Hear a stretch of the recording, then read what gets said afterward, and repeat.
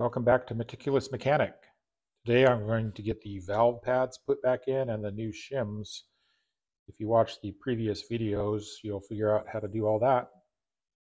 If you remember, I have labeled all my cylinders, like this exhaust side, cylinder 1 left side, cylinder 1 right side, and so on. Cylinder 3 left side. I did go down to the motorcycle shop today and replace the one 70 shim with a 165, which will bump my tolerance up, or not my tolerance, but my value from 10 thousandths to 12 thousandths. Cylinder 1 right, cylinder 1 left, cylinder 2 right, cylinder 2 left, cylinder 3 right, and cylinder 3 left. So it was 3 left, 3 right, 2 left, two right, one left, and one right. This is the valve pad. It says to lub lubricate the valve pad with molybdenum disulfide oil. This is the valve lifter.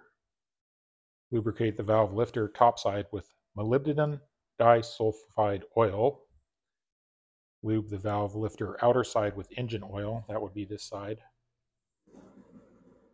And finally, install the valve lifter and the valve pad in the correct place. That's why we put everything into bags. And hopefully um, I didn't get dyslexia or something. So if you turn over way to the beginning of the manual, it has a list of all the symbols for the different lubricants. I searched the internet for like 20 minutes to figure out what molybdenum disulfide oil was. I found this Yamalube molybdenum disulfide grease, all I could find was to take some of the engine oil and mix it with the grease to make molybdenum disulfide oil. Um, for a KLR, they were saying a one to one ratio, and other people were saying one to 10. But I'm going to do this. So I made this last week. It's just part grease, part oil what I did, I'll show you real quick. So the disulfide grease is really thick. It's so thick it barely squeezes out of the bottle. It's almost like a super thick.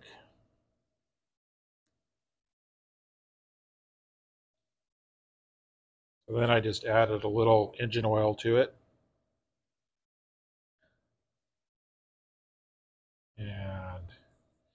Kind of stirred it around. You see how that grease is like super thick. It's almost like that epoxy that I was using on that little tool I just made. So that's still pretty thick, so I'm going to add a little bit more. Of course, I'm going to have to go get some more to sec. So it's just the motor oil I'm using in my engine. So I'm going to carefully just suck some out with this syringe. Okay, I'm just going to add another drop.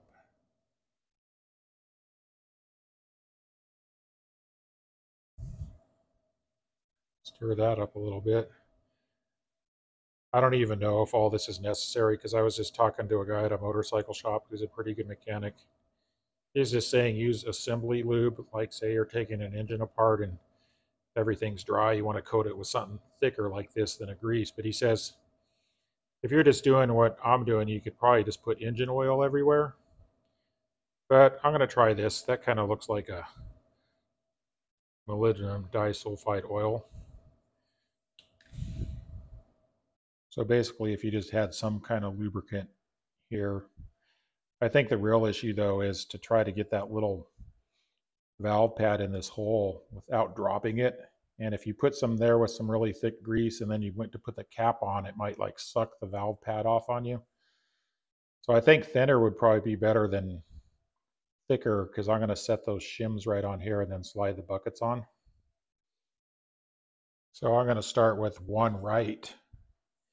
And I think I'm just going to put some oil on here. I don't even have the pad in there yet.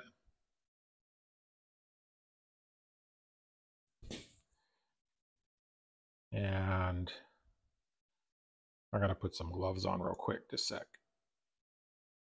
So I have this little suction cup on here.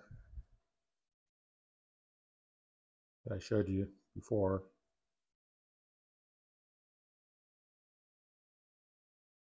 And then I've I have that oil I put on here. I'm just gonna, they say it should slide up and down easily in here. Let's check. That's sliding really nice. I'm going to put a little of that molybdenum, it's hard to say, molybdenum disulfide oil right there. I have the 165 shim that I calculated on that. It used to be 189.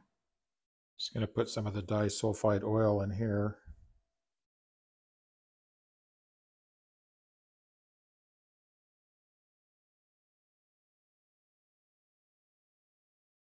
The thin coating looks good.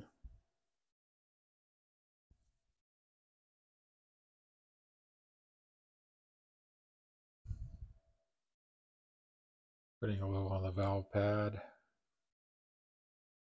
Now if I can just get it in here without dropping it.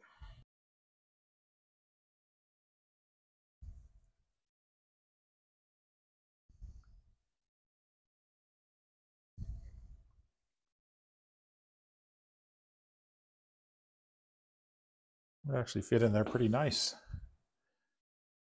Making sure it's all the way down. Doesn't seem to want to fall off as much as I thought it would.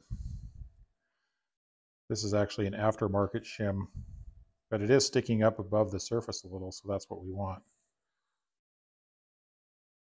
Because there's actually a raised hump inside here.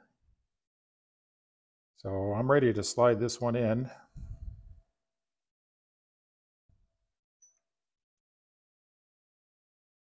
Take off my little suction cup.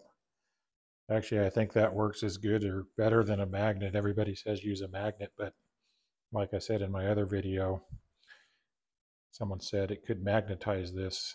May or may not be a problem, but the suction cup works really well. So here's one left, which is this one.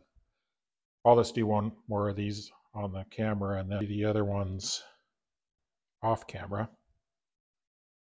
So cylinder one, left side. I could see how this would be super easy to messed up. So the little suction cup.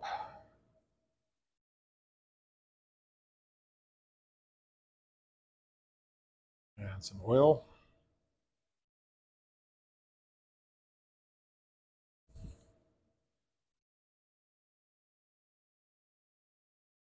Actually doing this one a little opposite. I put the oil on here and checked it first before I put the bisulfide grease on the pad. But that one feels good. Might not be bad to buy that valve lapper tool because this is hard to hold on to, but it works. I'm just doing this one again with some oil. Feels good. Making sure it's smooth.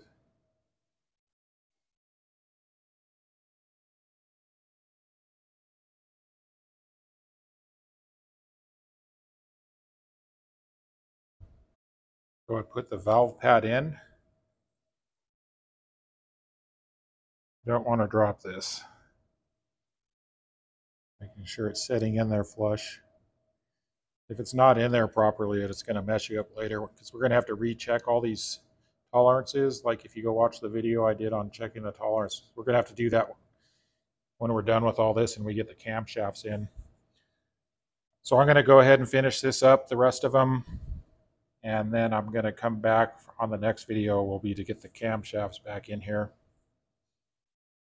Thanks for watching.